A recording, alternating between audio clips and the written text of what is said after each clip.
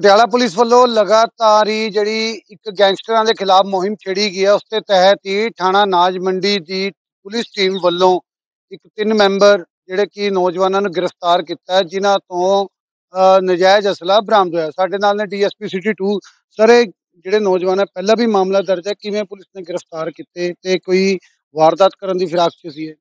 ਇਹ ਅਸੀਂ ਤਿੰਨ ਵਿਅਕਤੀ ਗ੍ਰਿਫਤਾਰ ਕੀਤੇ ਨੇ, ਜਿਨ੍ਹਾਂ ਦੇ ਵਿੱਚ ਇੱਕ ਸ਼ਮਸ਼ੇਰ ਸਿੰਘ ਹੈ, ਉਹ ਸੂਲਰ ਥਾਣਾ ਪਸਿਆਣਾ ਏਰੀਆ ਦਾ ਰਹਿਣ ਵਾਲਾ ਹੈ। ਤੇ ਦੋ ਅਮਲੋ ਦੇ ਰਹਿਣ ਵਾਲੇ ਹਨ। ਇਹਨਾਂ ਕੋਲ ਅਸੀਂ ਤਿੰਨ ਦੇਸੀ ਹਥਿਆਰ ਤੇ ਸੱਤ ਰਾਉਂਡ ਬਰਾਮਦ ਕੀਤੇ ਨੇ।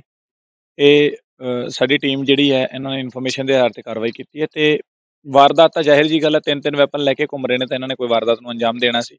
ਕਿੱਥੋਂ ਲੈ ਕੇ ਆਏ ਸੀ ਜਾਂ ਕਿਹਨੂੰ ਦੇਣਾ ਸੀ ਜਾਂ ਕੀ ਕਰਨਾ ਸੀ, ਉਹ ਇਨਵੈਸਟੀਗੇਸ਼ਨ ਦਾ ਪਾਰਟ ਹੈ ਤੇ ਤਿੰਨ ਦਿਨ ਦਾ ਸਾਡੇ ਕੋਲ ਰਿਮਾਂਡ ਹੈਗਾ, ਉਹਦੇ ਦੌਰਾਨ ਅਸੀਂ ਇਨਵੈਸਟੀਗੇਸ਼ਨ ਦੇ ਦੌਰਾਨ ਦੇਖਾਂਗੇ ਕੋਈ ਗੈਂਗ ਗੁੰਗ ਦਾ ਹੈ ਕੋਈ ਜਿਵੇਂ ਕੋਈ ਕੋਈ ਵੱਡੇ ਗੈਂਗ ਨਾਲ ਤਾਂ ਨਹੀਂ ਇਹਨਾਂ ਦਾ ਕੋਈ ਹਜੇ ਕੋਈ ਛੋਟਾ ਗੈਂਗ ਹੀ ਹੈ ਜਾਂ ਆਪਣਾ ਗੈਂਗ ਬਣਾਇਆ ਨਹੀਂ ਕੋਈ ਗੈਂਗ ਵਗੈਰਾ ਵਾਲੀ ਗੱਲ ਨਹੀਂ ਹੈ। ਇਹ ਮਤਲਬ ਨਾਰਮਲ ਜਿਵੇਂ ਆਪਾਂ ਕਹਿ ਸਕਦੇ ਹਾਂ ਵੀ ਛੋਟਾ ਮੋਟਾ ਜਿਹੜਾ ਹੁੰਦਾ ਇੱਕ ਗਰੁੱਪ ਜਿਹਾ ਬਣਾਇਆ ਹੋਇਆ ਇਹਨਾਂ ਨੇ। ਕੋਈ ਉਦਾਂ ਦੀ ਗੱਲ ਹਾਲੇ ਤੱਕ ਤਾਂ ਸਾਹਮਣੇ ਨਹੀਂ ਆਈ ਹੈ ਜੇ ਕੋਈ ਆਏਗੀ ਤਾਂ ਉਸ ਹਿਸਾਬ ਨਾਲ ਦੇਖਾਂਗੇ। ਇਹ ਜੀ ਸਾਡੀ ਥਾਣਾ ਅਨਾਜ ਮੰਡੀ ਦੀ ਜਿਹੜੀ ਟੀਮ ਹੈਗੀ ਆ ਉਹਨੇ ਪ੍ਰੋਐਕਟਿਵਲੀ ਕੰਮ ਕਰਦੇ ਹੋਏ ਤਿੰਨ ਵਿਅਕਤੀਆਂ ਨੂੰ ਕਾਬੂ ਕੀਤਾ ਜਿਨ੍ਹਾਂ ਕੋਲੋਂ ਤਿੰਨ ਨਜਾਇਜ਼ ਅਸਲੇ ਤੇ ਸੱਤ ਜਿੰਦਾ ਰੋਂਦ ਬਰਾਮਦ ਹੋਏ ਨੇ। ਇਹ ਕਿਸੇ ਵੱਡੀ ਵਾਰਦਾਤ ਨੂੰ ਅੰਜਾਮ ਦੇਣ ਦੀ ਫਿਰਾਕ ਦੇ ਵਿੱਚ ਸੀਗੇ ਬਟ ਸਾਡੀ team led by inspector Sukhwinder Singh, ਇਹਨਾਂ ਨੇ ਬੜਾ ਵਧੀਆ ਤਰੀਕੇ ਨਾਲ ਉਹਨਾਂ ਨੂੰ ਜਿਹੜਾ ਹੈਗਾ ਸੂਚਨਾ ਦੇ ਆਧਾਰ ਤੇ ਕਾਬੂ ਕੀਤਾ। ਇਹਦੇ ਵਿੱਚ ਇੱਕ ਦੋਸ਼ੀ ਹੈਗਾ ਸ਼ਮਸ਼ੇਰ ਸਿੰਘ ਉਰਫ ਸੋਨੀ, ਇਹ ਪਿੰਡ ਸੋਲਰ ਦਾ ਰਹਿਣ ਵਾਲਾ ਹੈ ਜੀ। ਤੇ ਇੱਕ ਅਮਨਦੀਪ ਸਿੰਘ ਹੈਗਾ ਤੇ ਇੱਕ ਕਰਨਪ੍ਰੀਤ ਹੈਗਾ, ਇਹ ਅਮਲੋਹ ਦੇ ਰਹਿਣ ਵਾਲੇ ਆ। ਜਿਹੜਾ ਸ਼ਮਸ਼ੇਰ ਸਿੰਘ ਹੈ ਇਹ ਤੇ ਪਹਿਲਾਂ ਵੀ ਤਿੰਨ ਚਾਰ ਪਰਚੇ ਦਰਜ ਨੇ। ਜਿਨ੍ਹਾਂ ਦੇ ਵਿੱਚੋਂ ਚੋਰੀ ਦੇ ਪਰਚੇ ਦਰਜ ਨੇ ਜੇਲ੍ਹ ਦੇ ਵਿੱਚ ਕੋਈ ਮਤਲਬ ਕ੍ਰਾਈਮ ਵਗੈਰਾ ਕਰਨ ਦਾ ਪਰਚਾ ਦਰਜ ਹੈ ਤੇ ਇੱਕ ਐਕਸਟੋਰਸ਼ਨ ਦਾ ਪਰਚਾ ਦਰਜ ਹੈਗਾ। ਤਾਂ ਜਿਹੜਾ ਸਾਡੀ ਟੀਮ ਹੈ ਉਹ ਬੜੀ ਵਧੀਆ ਕਾਮਯਾਬੀ ਹਾਸਲ ਕਰਨ ਦੇ ਵਿੱਚ ਜਿਹੜੀ ਹੈ ਸਕਸੈਸਫੁਲ ਹੋਈ ਇਹ ਵਾਰਦਾਤ ਕੀ ਕਰਨ ਕੇ ਮੈਂ ਦੇਖੋ ਜੀ ਇਹਨਾਂ ਕੋਲੋਂ ਤਿੰਨ ਬੰਦਿਆਂ ਕੋਲੋਂ ਆਪਾਂ ਦੇਖੀਏ ਤਾਂ ਤਿੰਨ ਵੈਪਨ ਮਿਲੇ ਨੇ ਤੇ ਸੱਤ ਕਾਰਟ੍ਰਿਜ ਮਿਲੇ ਨੇ।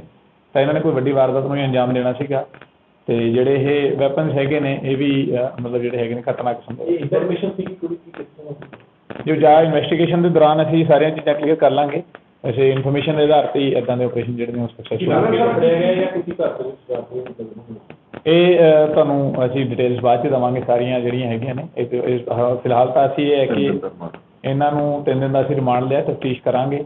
ਕੀ ਕਰਨਾ ਸੀ ਇਹਨਾਂ ਨੇ ਕਿੱਧਰ ਨੂੰ ਜਾਣਾ ਸੀਗਾ ਕੀ ਇਹਨਾਂ ਦਾ ਟਾਰਗੇਟ ਸੀਗਾ? ਕੋਈ ਮਤਲਬ ਕਿਹੜੀਆਂ ਵਾਰਦਾਤਾਂ ਹੋਰ ਵੀ ਕੀਤੀਆਂ ਨੇ ਜਿਹੜੀਆਂ ਮਤਲਬ ਰਜਿਸਟਰਡ ਨਹੀਂ ਹੋਣਗੀਆਂ? ਕੋਈ ਸਨੈਚਿੰਗ ਹੋ ਸਕਦੀ ਕੋਈ ਹੋਰ ਹੋ ਸਕਦੀ ਹੈ? ਸਰ ਜਦੋਂ ਅਸਲੇ ਦਾ ਮਾਮਲਾ ਆਉਂਦਾ ਹੈ ਕਿਸੇ ਵੀ ਤਫਤੀਸ਼ ਹੋਰ ਬਰੀਕੀ ਨਾਲ ਕਰਨੀ ਪੈਂਦੀ ਹੈ ਵੀ ਜੇ ਅਸਲਾ ਕਿੱਥੋਂ ਲੈ ਕੇ ਆਏ ਤੇ ਕਿੱਥੇ ਅੱਗੇ ਦੇਣਾ ਸੀ ਜਾਂ ਆਪ ਵਾਸਤੇ ਨਹੀਂ ਇਹ ਅਹ, ਜਿਹੜਾ ਹੈਗਾ ਅਸਲਾ ਦੇਖੋ ਜੀ ਇਹ- ਇਹਦੇ ਹੁਣ ਮਤਲਬ ਬੈਕਵਰਡ ਤੇ ਫਾਰਵਰਡ ਦੋਨੋਂ ਲਿੰਕ ਅਸੀਂ ਕਲੀਅਰ ਕਰਦੇ ਹੁੰਨੇ ਆ ਕਿ ਕਿਸੇ ਵਾਸਤੇ ਲੈ ਕੇ ਆਏ ਸੀ ਆਪਦੇ ਵਾਸਤੇ ਲੈ ਕੇ ਆਏ ਸੀਗੇ ਤੇ ਕਿਸ ਤੋਂ ਲੈ ਕੇ ਆਏ ਸੀਗੇ? ਉਹ ਸਾਰਾ ਕੁਝ ਅਸੀਂ ਜਿਹੜਾ ਰਿਮਾਂਡ ਲਿਆ। ਵੈਪਨ ਕਿਸ ਕਿਸਮ ਦੇ ਨੇ ਕੰਟਰੀ ਮੇਡ ਵੈਪਨ ਸਰ ਸ਼ੁਰੂਆਤੀ ਜਾਂਚ ਨੂੰ ਪਤਾ ਲੱਗਿਆ ਕਿ ਕੀ ਗਰੋਹ ਨਾਲ ਸੰਬੰਧਤ ਹੈ ਨਹੀਂ ਹਾਲੇ ਇਹਨਾਂ ਦਾ ਕਿਸੇ ਗਿਰੋਹ ਨਾਲ ਅਹ, ਕੋਈ ਸੰਬੰਧ ਸਾਡੇ ਕੋਲ ਸਾਹਮਣੇ ਨਹੀਂ ਆਇਆ ਪਰ ਹਾਲੇ ਤਿੰਨ ਦਿਨ ਦੇ ਰਿਮਾਂਡ ਤੇ ਸਾਡੇ ਕੋਲ ਹੈਗੇ ਨੇ ਉਸ ਦੌਰਾਨ ਅਸੀਂ ਕਲੀਅਰ ਕਰਾਂਗੇ ਪੁੱਛਗਿੱਛ ਕਰਕੇ ਮਨੋਜ ਜੀ ਜਿਹੜਾ ਸ਼ਮਸ਼ੇਰ ਸਿੰਘ ਹੈ ਜੇਲ੍ਹ से रह के आया हूँ रिमांड से बाहर आया थी पर उसकी ना सजा पूरी कर चुके ਨਹੀਂ ਬਾਹਰ ਜੇਲ੍ਹ ਤੋਂ ਬਾਹਰ ਸੀਗਾ ਜੀ। ਉਹ ਇਨਫੋਰਮੇਸ਼ਨ ਜੇਲ੍ਹ ਨਾਲ ਅਸੀਂ ਇਹਦੀ ਸਾਂਝੀ ਕਰਨੀ ਹੈ। ਪਰ ਜੇਲ੍ਹ ਦੇ ਵਿੱਚ ਵੀ ਇਹਦੇ ਤੇ ਇੱਕ ਪਰਚਾ ਦਰਜ ਹੋਇਆ ਸੀਗਾ 52 ਏ ਦਾ ਜਿਹੜਾ ਕਿ ਮੋਬਾਈਲ ਵਗੈਰਾ ਦਾ। ਪਰ ਹੋ ਸਕਦਾ ਜੀ ਉੱਥੇ ਦੇ ਕਿਸੇ ਨਾਲ ਲਿੰਕ ਹੋਣ ਤੇ ਉਸ ਤੋਂ ਬਾਅਦ ਬਾਹਰ ਆ ਕੇ ਉਹਨਾਂ ਦੇ ਇਸ਼ਾਰੇ ਤੇ ਕੁਝ ਕਰਨਾ ਉਹਨਾਂ ਨੇ। ਜੇਲ੍ਹ ਦੇ ਵਿੱਚ ਕੋਈ ਇਹ ਸਾਡੀ ਜਾਂਚ ਚੱਲ ਰਹੀ ਹੈ ਜੀ। ਉਹ ਉਸ ਤੋਂ ਪਹਿਲਾਂ ਕੁਝ ਵੀ ਕਹਿਣਾ ਜਿਹੜਾ ਹੈ ਜਲਦਬਾਜ਼ੀ ਹੋਏਗੀ।